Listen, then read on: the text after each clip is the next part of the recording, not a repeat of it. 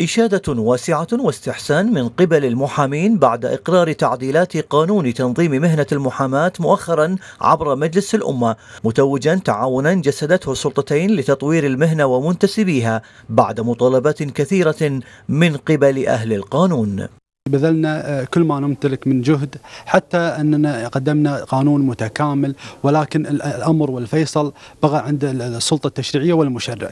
اليوم إحنا قمنا بكافة التعديلات في على قانون تنظيم مهنة المحاماة في آخر تعديل اللي هو صدر عام 1996 شمل هذه القانون تعديلات كثيرة ولكن لجأ المشرع إلى حصر هذه التعديلات وأخذ تعديلات يعني آه، تقريبا ست أو سبع مواد فحصرهم بحكم أن اليوم اللجنة التشريعية لديها قوانين أخرى ف رأى أن اليوم هناك هذه التشريعات هذه المواد هي اللي تحتاج إلى تعديل.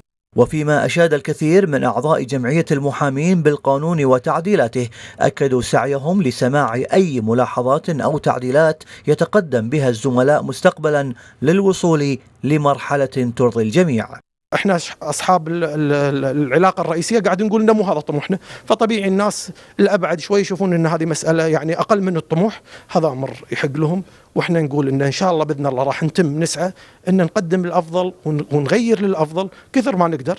لكن بالنهاية عندنا مشرع هو صاحب الكلمة الأخيرة. إحنا علينا إحنا نوصل الصوت ونوصل المقترحات لكن بالنهاية إحنا ما نملك القرار في في التعديل. فهذا هذا هذا جزء من دورنا وان شاء الله نكون إحنا يعني أدينا الأمانة.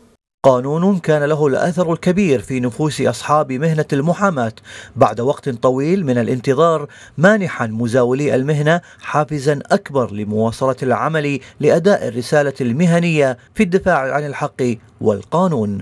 لتلفزيون المجلس رياض العبادي.